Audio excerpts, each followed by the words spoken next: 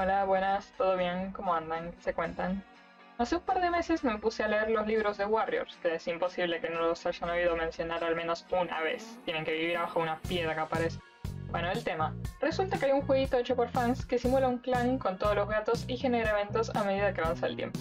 Al principio me lo puse a jugar sola por diversión, pero cuando empecé a progresar me di cuenta que los eventos que sucedían en el juego eran demasiado cinemáticos, y quizás sea una buena idea hacer un registro de la historia del clan en una serie de videos. Esta sería la primera serie del canal, así que voy a ver cómo va.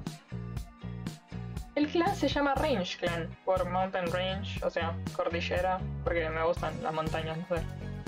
Para la historia de, de dónde salieron los gatos estos y cómo surgió el clan, se me ocurrió que Range Bud y Tony Speckle, que serían los dos gatos fundadores, escaparon del clan en el que vivían antes y decidieron formar el suyo.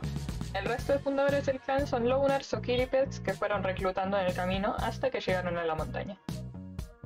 La líder del clan es Rainstar, quien al principio tenía dificultades para asumir la responsabilidad de liderar un clan, pero que eventualmente se fue acostumbrando. Tony Speckle prefirió ser deputy en vez de líder por su naturaleza seria e incluso intimidante en algunas ocasiones. Rainstar siente un poco de afecto por Tony Speckle, pero sabe que esta no siente lo mismo, así que intenta reprimir esas emociones y enfocarse en liderar a su clan responsablemente. Bloom Kid fue el primer kit del clan junto con Will Kid. Para finales de los primeros 15 meses, los dos se volvieron Warriors, con los nombres de Bloomrise y Weirdwind. Lighthawk es de las gatas más populares del clan. Fue la mentora de Bloompog cuando este era aprendiz y siempre estaba tratando de ser un buen ejemplo para los gatos más jóvenes. Sueña con volverse deputy en un futuro.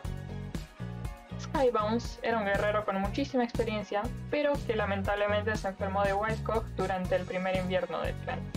Él y Lighthawk eran muy cercanos desde hace tiempo, y finalmente decidieron volverse pareja de forma oficial. Tristemente, Skybones murió unos pocos días después de esto, lo que dejó a Lighthawk devastada. Sparrowpelt fue el primer Medicine Cat del clan, durante los primeros ocho meses se sintió bastante sobrecargado con todas las tareas que conlleva ser el único sanador. Poe fue el primer aprendiz del clan, que lamentablemente murió de una herida infectada poco después de convertirse en guerrero. Parrowpelt estuvo sintiéndose culpable de esto por un buen tiempo. Feverclaw y Rosette Stripe son dos guerreros vengativos. Se llevan mal entre sí, pero pasan tiempo juntos por sus intereses en común. Ambos pasaron los primeros 15 meses del clan planeando la desaparición de algún gato en específico.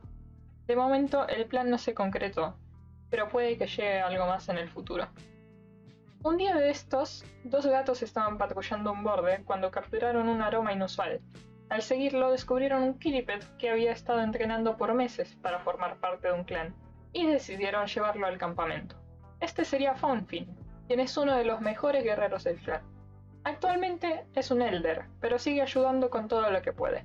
Poundfin trajo a dos de sus kits al campamento, Finch Kit y Brown Kit. El primero creció hasta convertirse en Warrior bajo el nombre de Finchfly, y el segundo se volvió aprendiz de Medicine Cat, lo cual le vino muy bien a Sparrowpelt para distribuirse las tareas. Justo finalizando el mes número 15, una patrulla se encontró con un gato con aura misteriosa. Se llamaba Sunkeeper y pidió unirse al clan como Medicine Cat. Lo que nadie sabe es que este gato tiene el poder de caminar en los sueños de otros, y se unió al clan con un propósito específico en mente. Poco después, una patrulla conoció a un kiripet llamado Koba, con el que conversaron un rato. Este terminó volviéndose amigo cercano del clan, pero prefirió no unirse. Durante el mes 17, Beaverclaw se lastimó la pata con una trampa, y Whirlwind fue mordido por una serpiente, pero sobrevivió de milagro. Brownpaw recibió su nombre completo de Medicine Cat, ahora llamándose Brown Dazzle. Russet Stripe y Bloomrise encontraron otro Kiripet que quería unirse al clan, así que lo llevaron al campamento. Este se llamaba Oddfleck. En el mes 18, Hood Clan, un clan vecino, le declaró la guerra a Range Clan. Todos se pusieron a reforzar las paredes del campamento. Casualmente, Sunkeeper volvió al clan con otro Medicine Cat que era amigo suyo, dijo que sería importante ahora que la guerra había comenzado. Este se llamaba Goose Spots. Es un gato de aire sabio que pasa la mayor parte del tiempo contando historias sobre Star Clan a los kids y aprendices. Al mes siguiente, un loner apareció en el campamento y pidió que cuidaran a sus kids porque ella no podría. Loomrise los adoptó a los cinco y estos le tomaron mucho cariño. Rainstar accedió a cuidar los gatitos sin saber que ese mismo día Sunkeeper volvería al campamento con cinco gatitos más. Cuando cuestionado, Sunkeeper se negó a dar información sobre el origen de los gatitos. Rainstar lo confrontó por traer tantas bocas que alimentar al campamento, con el invierno a la vuelta de la esquina pero eventualmente decidieron que se quedarían. Los kits de Loner se llamaban Alpaca Kit, Things Kit, Lichen Kit, Top Kit y Sweet Kit. Y los de Sunkeeper son Speckle Kit, Icy Kit, Small Kit, Cavern Kit y Pebble Kit. Mes 20. Dove Kit cree haber visto un gato de StarClan en un sueño. ¿Capaz se viene una profecía? No mucho después, Spots tuvo una visión, pero no pudo entender de qué se trataba. Mientras tanto, Ross Stripe y Beaverclaw planeaban algo nuevamente. Se encontraron otra vez con Koba en una patrulla, y este les advirtió que no confían en Sunkeeper. Él lo conocía, y ese gato era un mal augurio. Al volver, los dos acordaron no decir nada. Quizás Sunkeeper les podría ser de ayuda en su plan. Unas pocas semanas después, y casualmente, el clan recibió noticias de que Koba había muerto. Hay rumores de que fue asesinado por un loner pero no se sabe con certeza. Rosette Stripe se ofrece para ir a recolectar hierbas con Sunkeeper y en el camino le explica sus planes. Sunkeeper accede a ayudarlos. Rainstar, Tony Speckle y Funfin ven a un loner siendo perseguido por un perro, así que lo van a ayudar. Como de acto de agradecimiento, el loner, llamado Zachary, decide unirse al clan. En el mes 22, un guerrero de un clan aledaño le ruega a Rainstar que lo deje unirse al clan porque tuvo que huir del suyo. Estaba mal herido y no sobreviviría por mucho por su cuenta, así que lo dejan quedarse. Uspots recibe una profecía e intenta interpretarla sin éxito, mientras Dovekid juega con ser líder de su propio clan.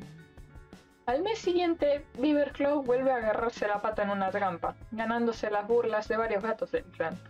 Sunkeeper nota que algunos gatos tienen sospechas sobre él, así que decide volverse pareja de Whirlwind, la única gata que parece no darse cuenta de absolutamente nada de lo que oculta. Esta le regala unas hojas secas que usa para decorarse la cabeza. Los cinco gatitos de Loner se volvieron aprendices, aunque Dogpa necesitó que Bloomrise la alentara porque estaba muy nerviosa. Rosette Stripe sueña con que gatos de StarClan están enojados con él por su plan, así que lo discute con Sunkeeper, y este le dice que no tiene que preocuparse. Mientras, Goosebots le dice a Sparrowbelt sobre la profecía del mes pasado, y después de mucho tiempo de discusión, llegan a la conclusión de que la profecía es sobre Dogpo, que en el futuro va a proteger el clan de un gran peligro. Esa misma semana, Oddfleck murió en una tormenta de nieve mientras fue a buscar casa para el clan. En los meses 24 y 25, con los principios de primavera apareciendo por la montaña, el clan prosperaba. Reinstar anuncia que va a tener kids. Fountain sueña con una celebración del clan en su honor, como por cuarta vez. Y Sparrowpelt encuentra un loner que quiere unirse al clan, llamado Murfox. Todo parecía ir relativamente bien, hasta que Sakari murió de una herida infectada después de intentar robar un conejo del territorio de Hood Clan. Esto empeoró la guerra aún más. Rosette Stripe y Beaverclaw nuevamente planean la desaparición de un gato, esta vez dejan en claro que tiene que ver con un aprendiz y que no querían esperar mucho más para poner el plan en acción. Y bueno, eso es lo que pasó en los primeros 25 meses del clan. Siento que está desarrollando una historia bastante interesante con Sunkeeper y sus misteriosos planes, Beaverclaw y Rose Stripe siendo malvados, Dogpa siendo parte de una profecía y la guerra contra Hood Clan. Ya tengo muchas ganas de ver qué pasa después. Y quizás incluso pueda llegar a jugar en directo para que todos ustedes puedan ver los sucesos en tiempo real. Pero bueno, eso queda para otro día. Díganme qué les parece el video y si les gusta, yo voy a tratar de sacar el próximo dentro de poco.